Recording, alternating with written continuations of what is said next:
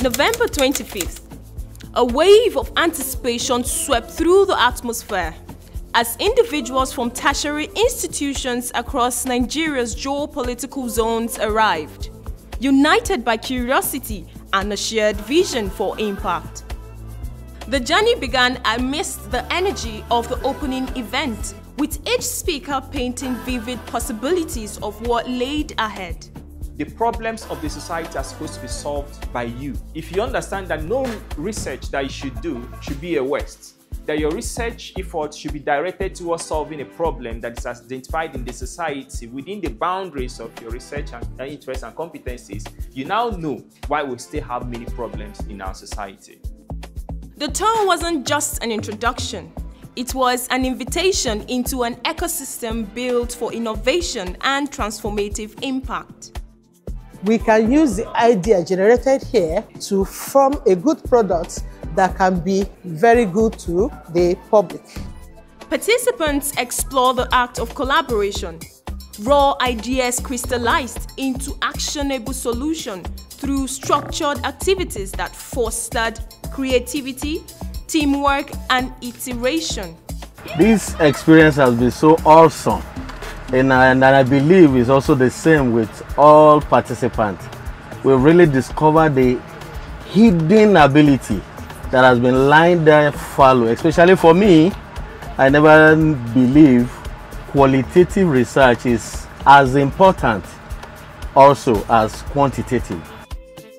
They four intertwined emotional intelligence, startup operating models, and agile prototyping. Participants explored empathetic design and sustainability, creating solutions that matters. Even if I walk out of that gate, but don't slap me or somebody slaps me, I will smile. But don't try it. anyway, a lot of us spend so much time living somebody else's life. Instead of understanding themselves, this is my ability, this is my capacity, this is who I am, and this is who I want to be. Nigeria is in dear need of it. And we have been taught you can't be in an environment, an institution cannot be in an environment, and the people around keep suffering. Yes, we must be responsible, we must bring solution right to the door of our host community. And that is what we have learned here. And more than that, me as an engineer, all we conduct is quantitative research. I have been I have learned to shift from ordinary quantitative research to qualitative research, you know. Hands-on prototyping and public speaking took center stage. Participants advanced their concept while honing their pitching skills, transforming ideas into compelling narratives.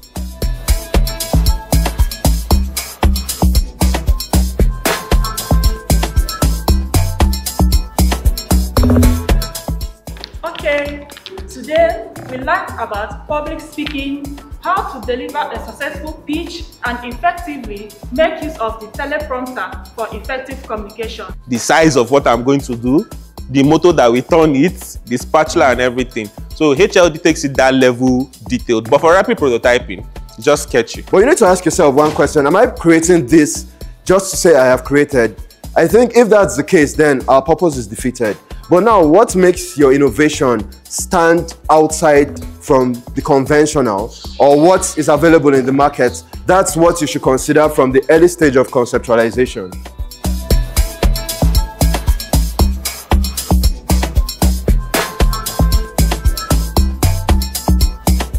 Okay, today's class talked about emotional intelligence and we moved to the Wale studio for our pitch session. And the pitch session was sensational, amazing, and thrilling. And we had fun at the end of the day. Thank you. Practicality meets purpose on day six.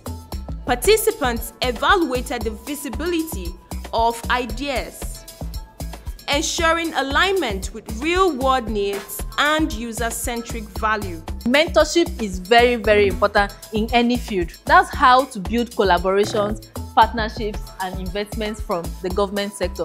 Day 7 was a masterclass in safeguarding ideas and enabling impact. Sessions on intellectual property and technology transfer equipped participants to protect and scale their innovations.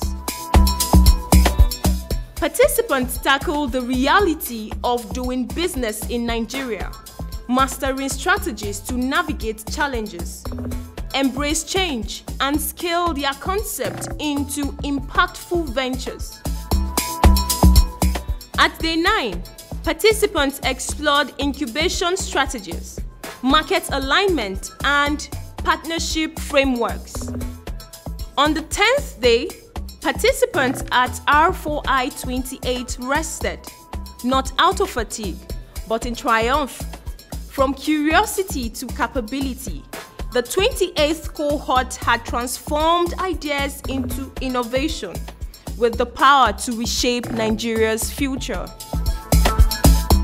From the Research for Impact Initiative, initiate, initiative oh, sorry. Over 300 million tons of plastic, 300 million tons of plastic waste are produced. Yet, okay, I should Yes, you know you didn't say something. uh, Yes, calm down. Yeah, don't worry, you see that. it will come. Okay, okay. Innov8 Hub for their technological expertise. Sorry, ma. You called his name. Her You name, called- called her name. And Yeah. the name is not here. really. Oh. Yes. It has been, it has been, it has been. Oh, that's true. So you just, maybe we just yeah, let's start all over. Is the, is the energy? Did you know Nigeria has We need energy. You don't even need to tell me that is who I am. You even get tired and tell me to drop the hands. Okay. Is that me that you are seeing there? Can't I see myself so that I know how how scotching sun? You've not started. I've started now. Ewo. I cannot repeat that one again. Oh. So just increase it for. So it's just basically to make them imagine. I should add I should add bars in my voice. That is what you are saying. How? By yet another power outage. Hey, hey, cut, cut, cut. because with TreeTrack, we don't just plant trees, we grow hope. Wow, that was beautiful, beautiful, beautiful, beautiful, beautiful. Well done, sir. On Mike Hill. Thank you very much. And cut.